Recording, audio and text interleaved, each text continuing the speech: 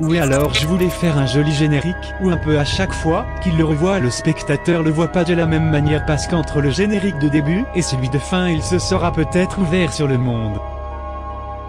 Reprenons notre exemple, notre sportif vient de perdre ses jambes dans un accident plus il est défiguré par les brûlures. Déjà qu'il était pas bien n'a rien foutre de sa journée, mais là il a toutes les raisons de voir le monde avec zéro potentiel comme geek au départ, et donc ne plus rien mettre en action, et donc ne plus avoir de résultats positifs. Sauf que paradoxalement on pourrait dire l'accident lui a donné la rage de vivre en plus il vient de lire un bouquin d'un autre homme, qui a perdu ses jambes, mais qui participe aux Jeux paralympiques.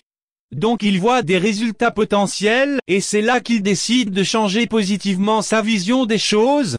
Si c'est possible pour lui, j'ai le potentiel de refaire du muscle, ça va être dur mais c'est ce que je veux. Il met son nouveau potentiel, influencé par sa nouvelle vision du monde, en action et obtient de nouveaux résultats. D'abord il galère parce que l'arrêt ça met du temps, mais il sent qu'il se rapproche maintenant il peut contracter les muscles des cuisses etc. etc. C'est des débuts de résultats, il n'a pas encore atteint le but mais c'est plus positif que de rester dans son lit d'hôpital à se morfondre sur son sort, comme il le faisait dans son canapé. Précisons, 1 de voir qu'il est allé jusque-là, transforme sa croyance simple de départ, en un état de persuasion, ça y manque que la persévérance et je peux, moi aussi me fixer des potentiels plus élevés, et peut-être participer aux Paralympiques, si je continue à mettre le tout en action, et donc à avoir des résultats. 2. Le geek a eu le même mécanisme. Les apparences le montrent comme un loser, on le rabaisse sans arrêt, sans raison profonde autre que l'apparence. S'il veut se sortir du cercle vicieux qui le plombe, il doit simplement trouver ce qu'il veut et se mettre à l'action. Et à ce niveau-là il a un avantage sur le sportif, parce que l'extérieur force le geek à réfléchir et donc à trouver ce qui lui reste une fois enlevé tout le superflu.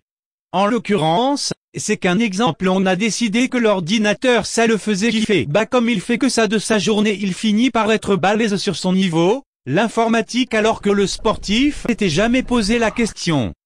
Quoi qu'il se passe, c'est ses réactions face à la situation dans laquelle il s'est retrouvé, qui changeront en bien ou en mal le cours des choses.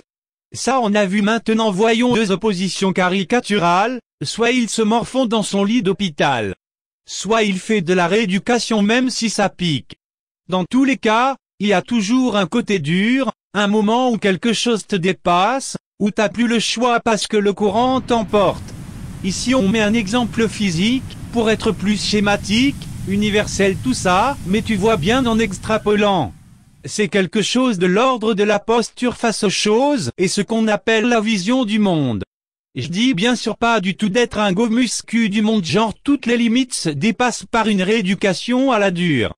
C'est vraiment qu'un exemple pour pointer du doigt le schéma de points même à ce moment-là t'as toujours ta conscience pour choisir ta manière de voir le courant. Mais forcément parler de ce genre de thème amène à affirmer ses croyances pro ça transparaît dans la forme et le propos vraiment c'est trouve ton point de vue ma petite gueule.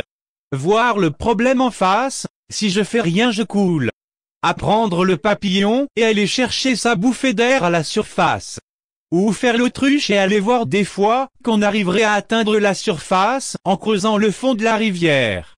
Si tu peux perdre ton temps à chercher le pire, juste essaye d'imaginer le meilleur. Les schémas figent les notions, pour se faire comprendre mais le spectateur doit y voir les images, c'est-à-dire le schéma, qui prend vie et le mouvement du temps, qui vient creuser le cours des choses. Et voilà pourquoi le développement personnel n'est pas que risible, il met en évidence tes propres contradictions internes du type je sais que mes actions entraînent des réactions, que tout effet provient de sa cause, mais à un moment dans le courant de la vie ce que je vois ne me plaît pas donc je décide de faire l'autruche. L'autruche se noie c'est évident. Par contre bien entendu ce qui est plus facile à dire qu'à faire, c'est d'accepter de regarder ce que l'on ne veut pas voir naturellement. C'est pour ça que l'exemple autour de l'accident du sportif est déterminant. Il montre aussi que des fois, paradoxalement, quand la vie te donne plus du tout le choix et que tu touches le fond, symboliquement cela te laisse le choix de prendre une grande détente et de remonter la pente.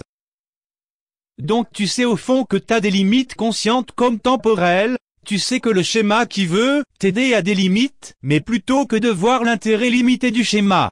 C'est-à-dire qu'il ne sert qu'à être mis en acte. Tu te répètes comme le schéma, et tout pour y passe que toi t'es la plus belle des autruches, et tu continues de subir le courant. Tu sais au fond de toi que comme t'as des limites, il y a une partie des résultats qui te dépassent mais tu choisis de voir, mauvais résultat égale échec égale vision du monde moisi égale zéro action égale zéro résultat. Plutôt que, mauvais résultat égale constat égale adaptation égale stratégie égale action égale résultat donc encore une fois, pas de mauvais résultat en souhaitant que tu t'adaptes et que tu agis, bien sûr dans tes limites. Le handicapé sait très bien qu'il n'aura pas la première place du concours du plus joli mollet naturel avec chaussures Nike taille 37. Il connaît ses limites. Il agit là où sa conscience a prise mais aussi, et surtout là où il a envie d'avancer et de voir les résultats. L'intérêt du schéma, c'est de prouver que si j'ai l'air de figer les choses d'une manière, la phrase le contient elle-même, d'une manière, insinue que tout en subissant le courant du temps, on peut agir sur quelque chose. Il n'y a que toi pour décider de ta manière. On fait tous avec une situation à un certain niveau enfermante. Donc te plains pas. Ça marchera pas instantanément peut-être que la rééducation mettra du temps mais rappelle-toi, quand on veut, on peut.